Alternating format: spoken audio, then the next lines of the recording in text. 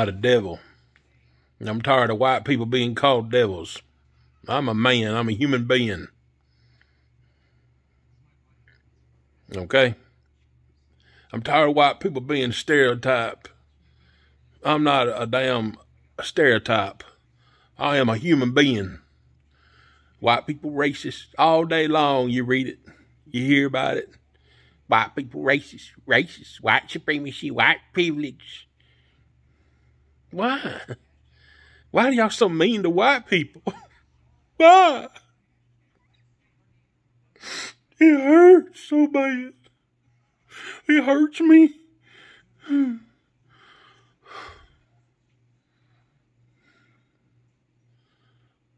I mean, did, did we earn that title or something? How, how, what, what did we do to get that? I've heard black people call white people devils. It because of slavery? Because we uh, committed genocide around the whole entire globe for 500 years? What is it? Colonialization?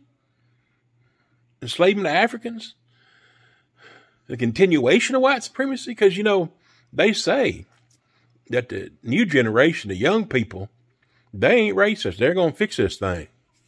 The young people today, they ain't got no racism. Bullshit. You raise them. Of course they're fucking racist. White people raise kids. White people are just as racist today as they used to be, sadly. Jump online. Look at what the fucking kids are saying. They're racist as fuck. I hate to say it. Not all of them, but too fucking many of them spewing overt horrible things online. Yes, your children are racist because our culture is still racist. It might they might uh, use different technology. It might be a different culture. It might be more covert. It's not as overt. But hell, they're still lynching black people. Look what happened in Buffalo. They're 18 years old. Don't tell me fucking young people are not racist. You're full of shit. People call us devils, not many, but people call white people devils for a fucking reason.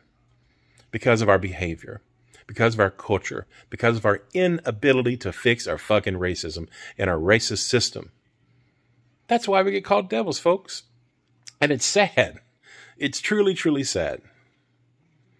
We've ruined our reputation the white people because of white supremacy, because of our love and our worship and our affection and the protection that we continue for white supremacy. I don't protect white supremacy. Yeah, you do. You do it in three ways. You either do it through silence, aggressive silence.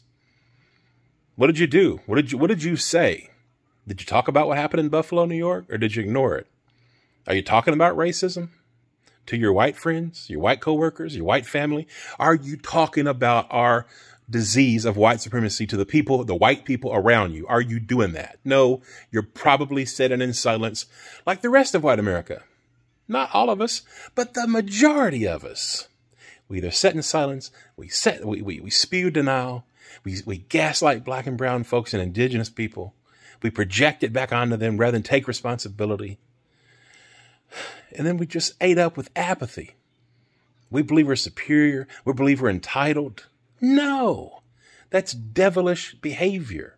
Stop. We're humans. You don't need to be a fucking idiot. All right? You, you need to have some fucking humanity. Remember one thing, white people.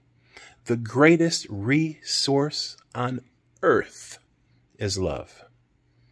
And it's the most seldom ever used.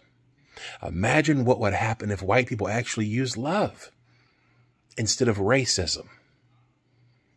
Racism is what our culture is. It's what our system is. But it doesn't have to be what you are. I'm not racist. I'm not asking you to be not racist. I'm asking you to be anti-racist. You can't fix racism by saying and being not racist. You have to be anti-racist. You have to do something. You have to at least acknowledge it then you got to take action, not inaction, action. Some form of action, accountability. People have to have accountability.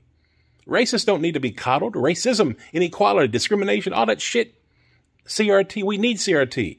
But you can't coddle racists. You got to hold them accountable. Call them out and educate. How many white people are trying to not educate? How many white people are trying to hide racism from their kids? That's a sick mind. And another example of just how racist we are. We want to hide it from our own children. That's why they're so fucking racist. We're teaching it to them by denying it. Let them learn from it. Anti racism should be taught to every single kid in school. But that's not what we do. So, anyhow, once again, use love. Find some humanity. Care about your brothers and sisters that are not white. Be anti racist. Being not racist is not enough. Good luck.